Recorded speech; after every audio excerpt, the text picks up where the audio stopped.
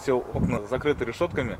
В центре вершины, который располагается под Казанью в поселке Осиново, первый этап прокурорской проверки состоялся неделю назад. В тот момент в доме реабилитацию проходили 17 человек. Это те, кто страдает алкогольной и наркозависимостью. Сотрудники надзорного ведомства нагрянули сюда вместе с пожарными и инспекторами Роспотребнадзора. Грубым нарушением пожарного законодательства является отсутствие эвакуационных выходов на втором этаже и отсутствие автоматической сигнализации. 21 апреля Зеленодольским городским прокурором подано исковое заявление в Зеленодольский городской суд о запрете деятельности о вершина по высшему указанному адресу до устранения нарушений пожарной и санитарно-экологического законодательства. Кроме того, в ООО «Вершина» отсутствует лицензия на осуществление медицинской деятельности. Какие нарушения-то вы? Я тоже не В акте проверки были указаны. Акт проверки был направлен вашему директору общества. На том конце провода юрист центра впустить сотрудников правоохранительных органов и нашу съемочную группу в дом отказались. Проверить, устранены ли нарушения сотрудник прокуратуры не смог.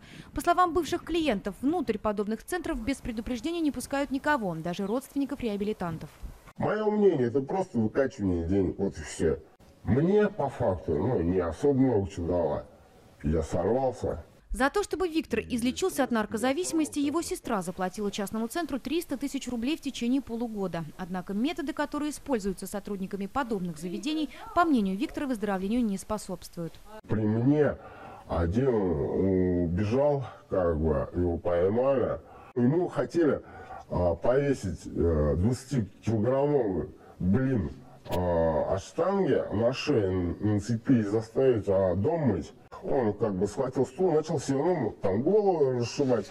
И ему, ну, прекратить, и потом это массовое избиение пошло уже. Главное преимущество таких центров перед государственными клиентов они берут без их согласия. Поэтому отчаявшиеся родственники готовы платить любые деньги, лишь бы вернуть близкого человека к нормальной жизни.